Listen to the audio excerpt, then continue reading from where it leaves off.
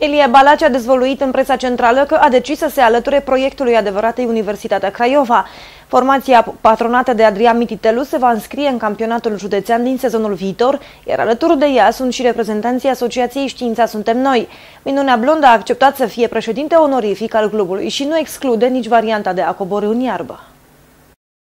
Ilie Bala cifră să pună umărul la renașterea Universității Craiova și a anunțat că se va alătura și el proiectului susținut de Asociația Știința Suntem Noi. Pentru început, Universitatea Craiova va începe din Liga Județeană, însă minunea blondă speră să facă rost de bani pentru ca echipa să revină pe prima scenă a fotbalului românesc. Am decis să mă alătur adevăratei Universitatea Craiova deoarece am considerat că orașul Craiova merită să aibă două echipe, după ce acum doi ani a apărut și CSU Craiova. Momentan voi deține o funcție onorifică, iar apoi voi discuta cu băieții de acolo să vedem ce este de făcut pe viitor. Lui Balaci îi place să se implice acolo unde se dorește performanță. Sunt sigur că la început o să ne fie greu, deoarece nu e ușor ca unii să aibă avantajul susținerii primăriei din bănie, iar alții nu. Însă m-aș bucura dacă sprijinul meu o să conteze pentru ei mai mult ca sprijinul primăriei pentru CSU, a spus Balaci. Fosta Gloria Științei a mai precizat că nu știe încă dacă va antrena formația din Bănie.